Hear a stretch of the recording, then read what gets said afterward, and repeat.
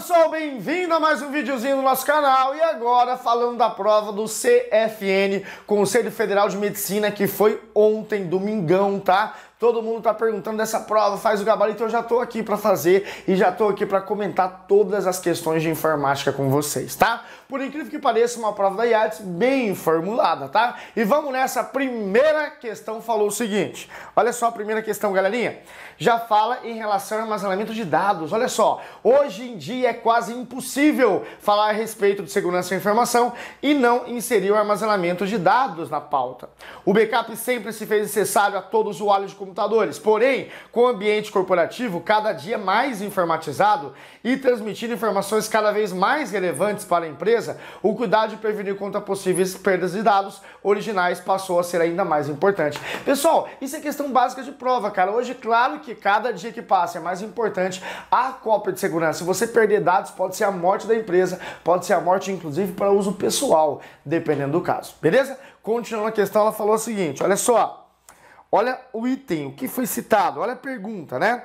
É, além de se tratando, em se tratando de segurança para o armazenamento né, de dados, qual das formas a seguir é a mais segura no mercado? A letra A falou o seguinte, ó, backup no computador. Senhor amado, não se faz backup no próprio computador. Beleza? É até possível, tá? Mas não é recomendável. Por quê? Professor, eu fiz backup das minhas informações, roubaram meu computador, mas eu tô muito feliz que eu fiz backup. Que bom, filho, você fez backup onde? No próprio computador. Horroroso essa letra A. Horrível a letra A, tá?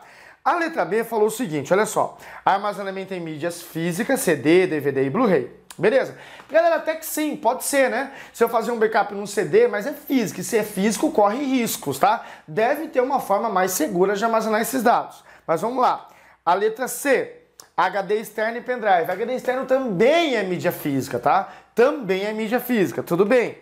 Aí ele falou o seguinte: cartão de memória, que também é mídia física, e a letra E falou armazenamento de dados em uma nuvem, né? Galera, essa é a opção que eu marcaria fácil, tá? Por quê? Porque quando você armazena nas nuvens, tá? Você ganha mais mobilidade, você ganha mais segurança, porque é uma forma atual e segura de armazenar os dados. E qual é a vantagem, a maior vantagem do armazenamento nas nuvens? Você pode acessar a partir de qualquer computador que tenha acesso à internet. Então você não está preso àquela máquina, tá? Então a primeira questão, a a letra A, a letra E, provinha de ontem, tá? Olha a segunda questão.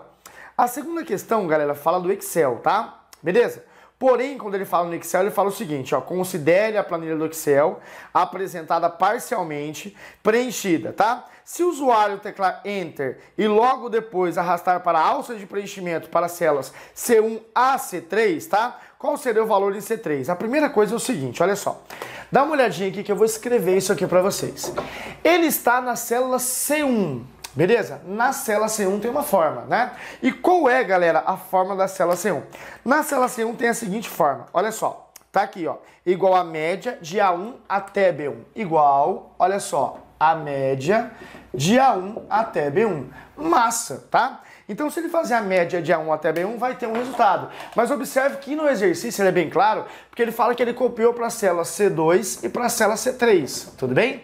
E ele quer saber qual é o resultado da célula C3. Mas olha só, se eu estou na célula C1 com esta e copiei para C2, quantas colunas eu pulei? Nenhuma. Mas quantas linhas eu pulei? Uma. Então vou ter que atualizar as linhas, a coluna não. Então olha só, vai ficar igual a média, tudo bem? De A2 até B2. Por que, que o A não mudou? Porque eu não mudei de coluna. Mas por que 1 mudou? Porque eu mudei da linha 1 para a linha 2. Beleza? Legal. Só que ele não quer saber o resultado da célula C2. Ele quer saber o resultado da célula C3, cara. Então, olha só. Se ele quer saber o resultado da célula C3, a gente vai fazer assim. De C1 para C3, quantas colunas eu pulei de C1 para C3? Zero. Mas quantas linhas eu pulei de C1 para C3? Duas. Então vai ficar igual a média, tudo bem? De A3 até até B3, tudo bem? E para fazer a média de A3 até B3, fica muito simples, tá? Dá uma olhada aí na forma, tá? Na, na planilha. Se eu quero fazer a média de A3 até B3, eu vou pegar o quê? Eu vou pegar 15 mais 5, beleza? E dividir isso por quanto? Dividir isso por 3, tudo bem? Então se eu pegar 15 mais 5 dá 20, né? Dividido Isso, desculpa, dividir isso por 2 vai dar o quê? Vai dar 10. Então eu vou pegar, olha só, 15 e mais 5 dá 10, é, dá 20, não é isso?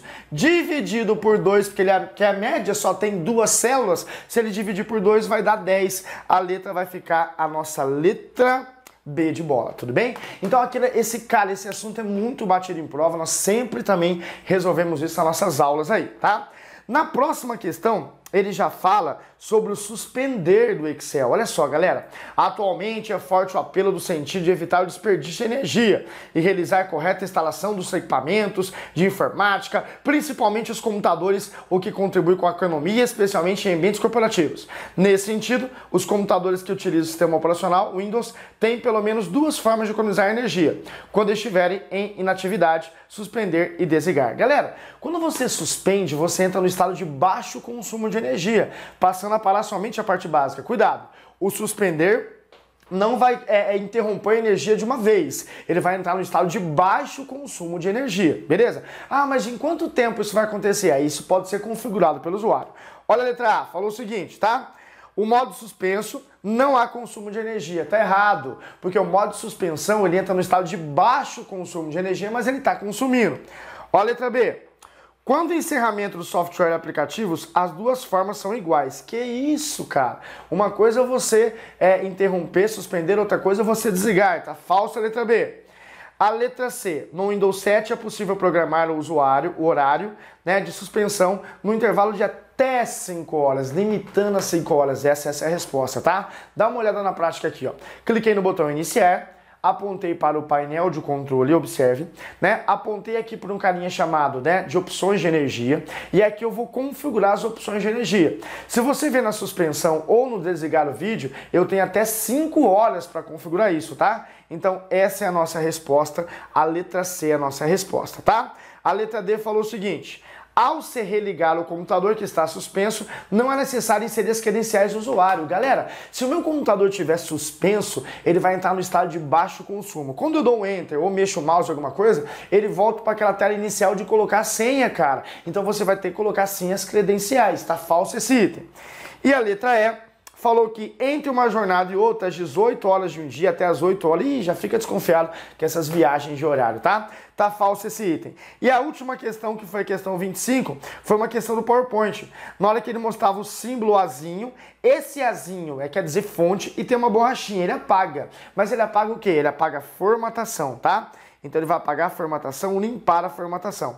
Então qual seria a resposta? Letra A, limpar toda a formatação será a nossa resposta. Beleza? Legal? Então aqui no nosso canal, galera, você sempre vai estar muito antenado do que acontece nas provas. Domingo teve uma prova. Nós corrigimos já na segunda, no máximo na terça e já deixamos tudo pronto para vocês. Quem participa do nosso canal, pessoal, sempre tem a vantagem de sair na frente dos outros candidatos, tá? Então dá um like no vídeo aí, tá? Inscreva-se no nosso canal, beleza? E fique por dentro de tudo que acontece na informática no mundo dos concursos, na sua cidade e no Brasil inteiro. Tamo junto, valeu! Você e eu vamos fazer uma parceria de aprovações. Tamo junto!